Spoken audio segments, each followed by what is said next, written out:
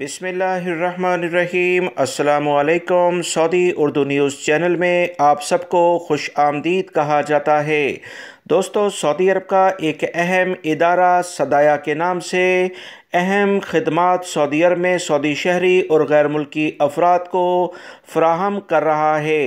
इस अहम इदारे का बुनियादी काम गैर मुल्की और सऊदी शहरीों को ऐसी सहूलियात फ्राहम करना, जिससे ये धोखाबाज लोगों से बच सकें, ऐसे अफराद जो धोखादही के ज़रिए लोगों की ज़ाती मालूम हासिल करते हैं और फिर इनके बैंक अकाउंट या इनके सोशल मीडिया पर, जो भी इनके अकाउंट्स हैं, किसी भी एक्टिविटी के लिहाज से इनकी ज़ाती मालूम वहाँ से हासिल करते हैं, उसकी निगरानी की जा सके।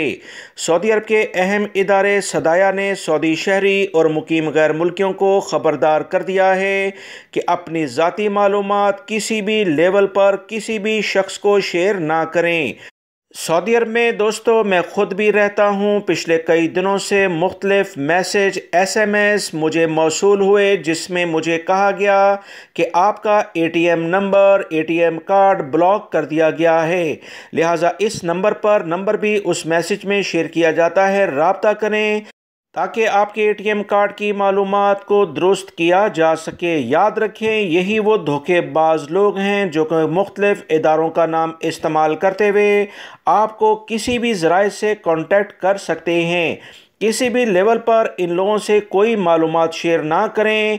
सऊदी अरब के अहम तरीन इदारे सदाया ने बयान में कहा कि सऊदी अरब में कोई भी बैंक, किसी भी अकाउंट होल्डर से इसकी ज़ाती मालूम यानी निजी मालूम टेलीफोन, सोशल मीडिया, ईमेल या किसी और ज़राए से मौसू करने का किसी भी लेवल पर हक नहीं रखता है।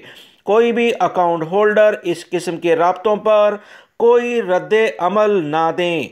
बयान में मजीद कहा गया कि यकीन रखें कि रबता करने वाले धोखाबाज हैं और वो डाटा हासिल करके आपको बहुत नुकसान पहुँचाएँगे।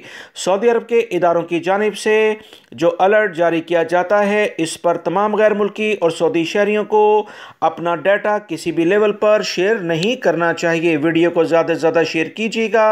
असलकम